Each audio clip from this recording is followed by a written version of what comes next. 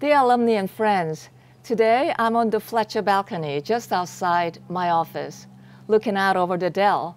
I've been reflecting on what an extraordinary year this has been. From the bottom of my heart, I want to thank the students, parents, faculty, staff, and alumni who supported our decision to have in-person learning on campus for this past academic year. And we'll do so again when the new school year begins on August 19th, just as we have done year after year for the last 115 years. The COVID pandemic could have been the proverbial straw that broke the camel's back, as indeed was the case for two women's colleges this year. But that was not going to happen to your college, Sweet Briar. With your unflinching support, we overcame the challenges of the pandemic and doubled down on solidifying the gains of the past years. With the wind behind our backs, we are poised for a great year ahead. We are ready for the future. The Southern Association of Colleges and Schools is the accreditation agency that reviews all our academic and managerial processes as documented in tens of thousands of pages presented every 10 years. Its acronym is SACS. SACS is impressed with Sweet Briar. While the process is not officially over until they meet as a board in December, I'm pleased to let you know that higher education's most exhaustive reaffirmation review finds us in an enviable place. In the fiscal year that just closed, we balanced our budget. We did so with frugality in spending, making strategic investments where needed, and through scrupulous management. Above all, this accomplishment was made possible through your support, which enabled us to address lost revenues from sources like the Elston Inn and summer programs during the pandemic, and to take on additional expenses such as our new and much needed health clinic.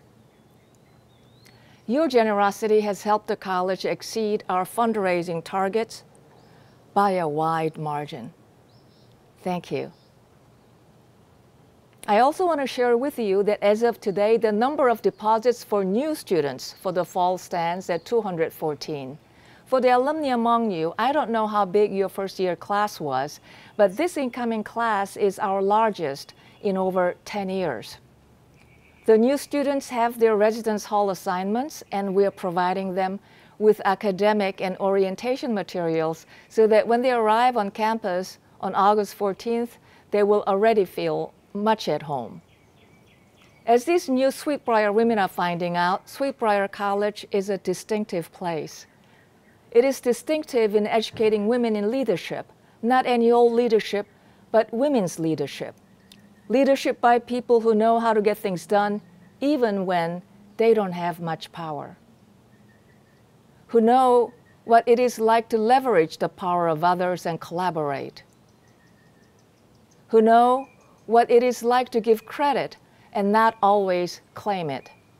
It is the leadership for the 21st century, leadership the world needs. Sweet Briar is distinctive in providing the finest engineering education to talented women, some of whom may never have thought they could be engineers.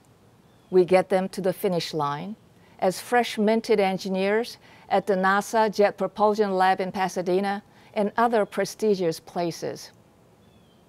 Sweet Briar is distinctive in parlaying its breathtaking landscape into courses and hands-on learning opportunities that teach students the primary importance of sustainability sustaining oneself, sustaining one's family, sustaining our society, sustaining our environment and our future.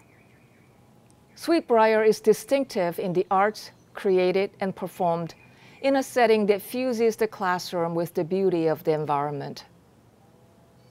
Sweet Briar is also distinctive for its alumni and friends who take such pride in this place and do so much for it I appreciate your many contributions and hope you can visit soon and see how the college is thriving. Later this month, the reunion classes return and the phenomenal Sweet Work Week will happen again with over 50 alumni expected to ready our campus for our students. I have my paintbrush and my overalls ready, and I'm looking so forward to welcoming you. Until then, let me thank you again for supporting this college in the past year, for investing in our vision for women's leadership, and above all, for believing that education of women is changing the world.